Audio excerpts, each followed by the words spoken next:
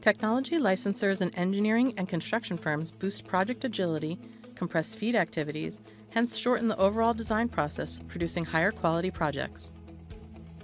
Boosting project agility is a result of leveraging a single source of truth for all feed data, integrated design and costing, improves global productivity as changes are cascaded globally, instantaneously allowing for the creating and sharing of data sheets on a real time basis.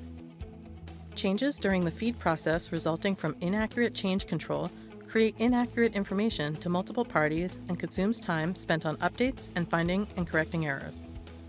Non integrated tools used during feed cause design iterations and result in over design equipment, increasing unnecessary capex. In addition, documents are time delayed, limiting productivity. The solution is a feed process that propagates changes and automates deliverables, decreasing feed package preparation time and decreasing rework. Degraded tools from conceptual engineering through feed simultaneously consider design, economics, safety, and energy. One source of data provides a global real time view for change management, reducing time spent on document update and error removal. Global real time changes cascade throughout the database to all participants of the project, improving productivity when producing documents like datasheets. Technip FMC improved feed efficiency 9% through integrated work processes by leveraging tools that are integrated from conceptual design through feed.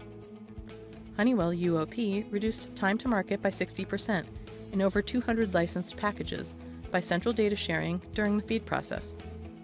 DuPont realized a 50% time reduction through extensive design reuse and automation through a centralized feed database.